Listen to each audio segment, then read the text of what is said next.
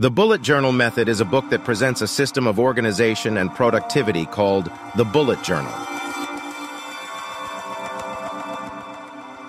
The author, Ryder Carroll, introduces the method as a customizable, flexible, and efficient way to keep track of tasks, events, and notes.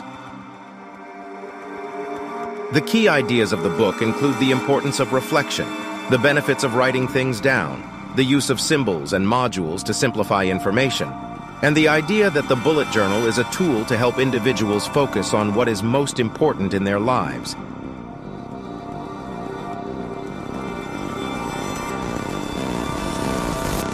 The book also provides tips and examples on how to implement the bullet journal method, including how to set up the journal, how to migrate tasks, and how to use the system for goal setting and self-improvement.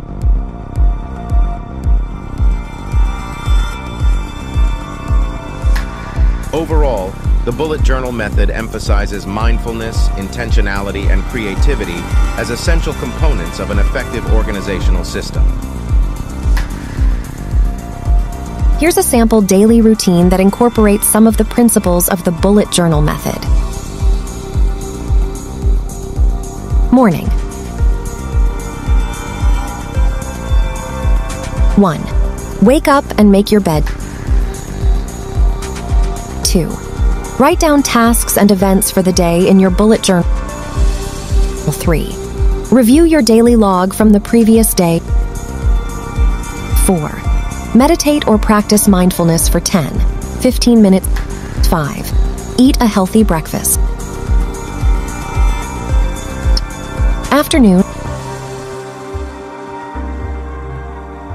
1. Work on your tasks from your daily log using symbols to categorize them. 2. Take breaks every hour or so to stretch or walk around.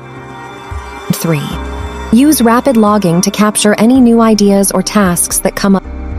4. Review your daily log and migrate any unfinished tasks to the next day.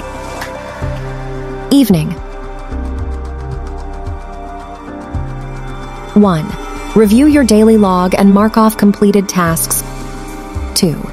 Reflect on your progress and write down any insights or lessons learned in your bullet journal. 3. Practice gratitude by writing down three things you're thankful for. 4. Plan out tasks and events for the next day in your bullet journal. 5. Practice a relaxing activity, such as reading, yoga, or spending time with loved ones.